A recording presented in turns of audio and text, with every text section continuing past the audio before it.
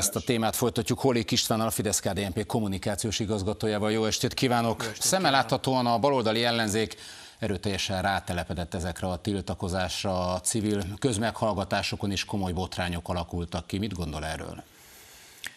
Hát az teljesen világos, nyilvánvaló, hogy itt politikai célzatú támadásról van szó a dollár baloldal részéről, és pontosan ugyanaz történik, ugyanaz a mintázata az ügynek, mint amit a korábbiakban megszokhattunk, kapnak egy utasítást a dollár baloldal különböző képviselői, akik egyébként részt vesznek ezeken a közmeghallgatásokon, ezeken a fórumokon, tiltakozásokon, kapnak egy utasítást, és azt hajtják végre. Dömötör Csaba, parlamenti államtitkár azt mondta, hogy ez egy élesedő gazdasági verseny magyarországi leágazása. Ez pusztán csak gazdasági kérdés lenne? Hiszen azért, hogyha ha csak az lenne, akkor a politika annyira nem keveredne bele, főleg ellenzéki részről. Mit gondol hát, erről? Pontosan azért keveredik bele, mert azok a gazdasági szereplők, akiknek nem érdeke, hogy az elektromobilitás alapját képező akkumulátorgyártás az Magyarországon legyen, mert ők azt szeretnék, hogy ez ne itt legyen, hanem Nyugat-Európában legyen, azok azt az utasítást adták ki a dollár baloldal képviselőinek, hogy éppen ezért ezeket a beruházások, ezeket támadni kell. A probléma itt az, hogy a dollár baloldal képviselői egytől egyig korábban politikai választási programjukban a parlamentben többször hallhattuk őket, hogy éppen ennek az ellenkezőjéről beszéltek. Arról beszéltek, hogy Magyarországon zöld átállásra van szükség, éppen azért kritizálták a Fidesz-KDNP kormányt, hogy ez nem megy elég gyorsan. Választási programjukba írták bele, hogy az elektromobilitás, tehát az elektromos autókat, aminek e, alapvető szükséglete az akkumulátor, ezeket gyorsabb mértékben kell bevezetni, nagyobb mértékben kell dotálni, támogatni e, e, a magyar költségvetésnek. Tehát folyamatosan erről beszéltek, azt mondták, hogy ebben Magyarországnak érre kell állnia. Most pedig egy akkumulátorgyárt, ami az elektromobilitás alapját adja, azt támadnak. Tehát teljes mértékben hiteltelen. Látszik, hogy, eh, hogy külföldi utasításra eh, cselekednek, és valóban kilóg a lóláb. Igen, a politikai szempontok egyértelműek, viszont a politikai pártok megosztottak. Ugye a Momentum szeretne helyi népszavazást, azonban vannak mondjuk a DK részéről, akik ezt eh, kritizálják vagy kifogásolják. Tehát látszik azért, hogy itt most a, a politikai kezdeményezést kommunikációs szinten mindenképpen vannak politikai erők az ellenzéki oldalon, akik szeretnék magához, magukhoz ragadni ezt a kezdeményezési lehetőséget, van, aki viszont pont ugyanúgy az ellenzéki oldalról ezt támadja. Mi lehet ennek az oka?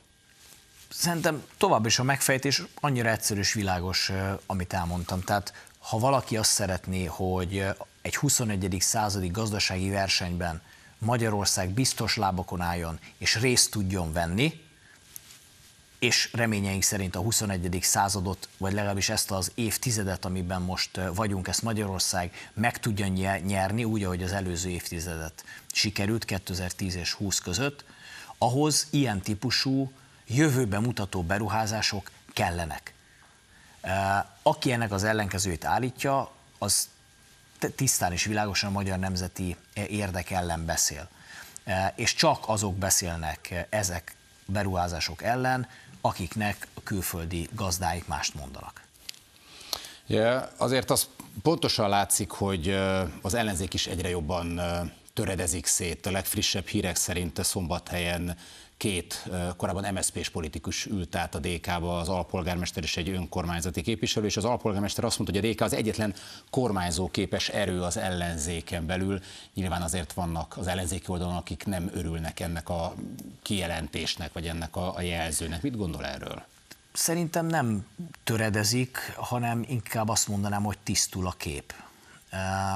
Az teljesen világos, amit mi már korábban is mondtunk, gunyoros megjegyzéseket kaptunk a baloldalról, baloldal több képviselőtől, de hát ma már mindenki láthatja, hogy Gyurcsány Ferenc a baloldal vezetője, ez az egyik legfontosabb állítás, a másik pedig, hogy a dollár baloldal nem ura önmagának.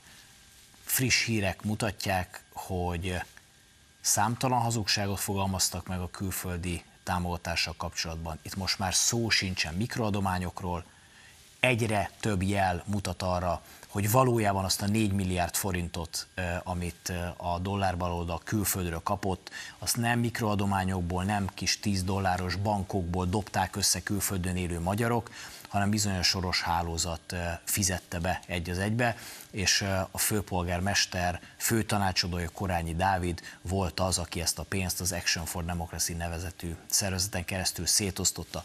Tehát Gyurcsány a főnök, és a dollár baloldal nem ura önmagának.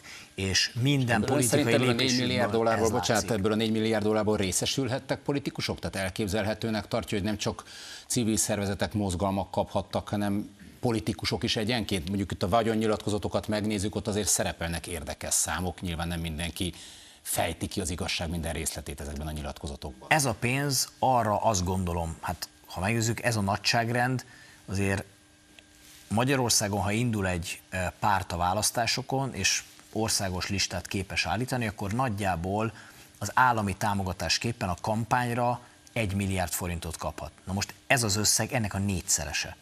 Tehát ez az összeg bőven elegendő arra, hogy egy teljes politikai oldal zsebre lehessen vágni. Ezért mondom azt, hogy a dollár baloldal ma már nem ura önmagának. Amikor politikai javaslatokat tesz a parlamentben, törvényjavaslatokat nyújt be, támad egy beruházást, lásd Debrecenben, az mind azért van, mert tőle ezt várják el. Nem ura önmagának, nem azt teszi, ami a magyar érdek szerinte lenne, hanem azt teszi, amit a gazdáik, azok, akik ezt a pénzt nekik elutalták, mondanak, utasítanak. Az ellenzéki képviselőket is megkérdezzük majd erről. Holik István, köszönöm szépen a beszélgetést. Köszönöm szépen.